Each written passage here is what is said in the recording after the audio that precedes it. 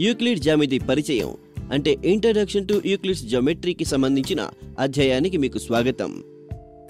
ఇంతకు ముందు వీడియోలో మనం స్వీకృతాలు అంటే పాస్టులేట్స్ అంటే ఏమిటి మరియు వాటి యొక్క నిర్వచనాల గురించి అధ్యయనం చేశాం. ఈ వీడియోలో మనం యూక్లిడ్ యొక్క స్వీకృతాలు అంటే యూక్లిడ్స్ పాస్టులేట్స్ను చూద్దాం.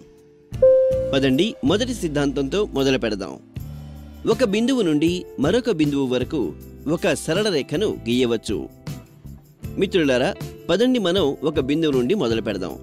మరియు ఒక బిందువు నుండి ఎన్ని రేఖలు గీయవచ్చు చూద్దాం. మనం ఈ విధమైన అసంఖ్యాక రేఖలను గీయవచ్చు. ఇప్పుడు ఇదే విధంగా మనం రెండు బిందువులను తీసుకుని చేద్దాం. అంటే ఇప్పుడు మనం ఇలాంటి రేఖలను గీసినట్లయితే ఈ రెండు బిందువుల నుండి ఎన్ని రేఖలు ప్రయాణిస్తాయి? ఇప్పుడు చెప్పండి మనం ఎటువంటి ఎన్ని రేఖలు గీయగలం? మిత్రులారా రెండు బిందువుల నుండి కేవలం ఒక రేఖ మాత్రమే రెండింటి గుండా ప్రయాణిస్తూ గీయగలం. మరియు ఒకవేళ మనం ఇంకొక సరళ రేఖను గీయడానికి ప్రయత్నించినప్పటికీ అది సాధ్యం కాదు. ఒకవేళ మనం గీసినప్పటికీ అది సరళ రేఖ కాదు ఒక వక్రరేఖ అవుతుంది కర్వ్ అవుతుంది. ఈ సిద్ధాంతాన్ని యూక్లిడ్ అనేక సార్లు తన పనిలో ప్రదర్శించారు. పదండి ఇప్పుడు రెండవ సిద్ధాంతాన్ని అర్థం చేసుకుందాం. ఒక నిశ్చిత రేఖను అంటే టర్మినేటెడ్ లైన్ నిరవధికంగా పొడిగించవచ్చు. మిత్రులారా నిశ్చిత రేఖ అని దేనిని అంటారో మీకు తెలుసా? మనకు తెలుసు రేఖ అంటే లైన్ అనేది నేరుగా ప్రయాణించే మరియు ఎప్పటికీ ముగిసిపోని బిందువుల యొక్క వరుస మరియు రేఖను మనం ఈ విధంగా బాణం గుర్తుతో చూపిస్తాము. అటువంటి రేఖలో ఒక భాగం దీనికి రెండు వైపులా బాణం గుర్తు ఉండదు. అది బిందువుతో ముగుస్తుంది. దానిని రేఖాఖండం అని అంటారు. అంటే లైన్ సెగ్మెంట్. ఈ రేఖాఖండమును మొదట నిశ్చిత రేఖ అని పిలిచేవారు. యూక్లిడ్ యొక్క సిద్ధాంతం ప్రకారం ఏదైనా రేఖాఖండమును నిరవధికంగా పొడిగించవచ్చు. అంటే దీనిని చిన్న రేఖాఖండం నుండి పెద్ద రేఖాఖండం లేదా ఇదే విధంగా పొడిగించిన రేఖ రూపంలో దానిని చూడవచ్చు. అనగా ఒక చిన్న రేఖాఖండమును రేఖగా మార్చవచ్చు.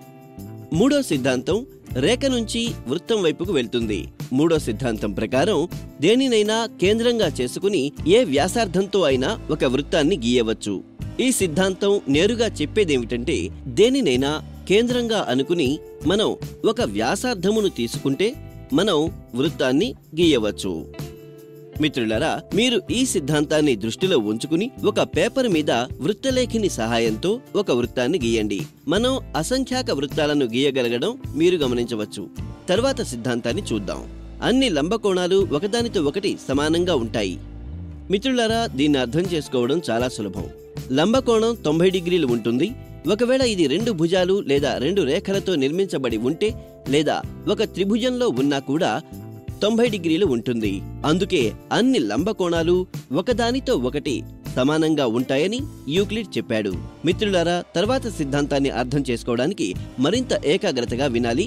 ఇదే ఆ సిద్ధాంతం. పదండి దీన్ని అర్థం చేసుకునే ప్రయత్నం చేద్దాం. ఈ సిద్ధాంతం చెప్పేది ఏమిటంటే ఒకవేళ ఒక పేపర్ మీద రెండు సరళ రేఖలను ఈ విధంగా ఒక సరళ రేఖను ఈ రెండు రేఖలను ఖండిస్తూ గీసినట్లయితే ఈ సరళ రేఖ తన యొక్క ఒకవైపునే అంతర కోణాన్ని ఈ విధంగా ఏర్పరుస్తుంది. ఈ రెండు కోణాల యొక్క మొత్తం కలిసి రెండు లంబ కోణాల కంటే తక్కువగా ఉంటాయి.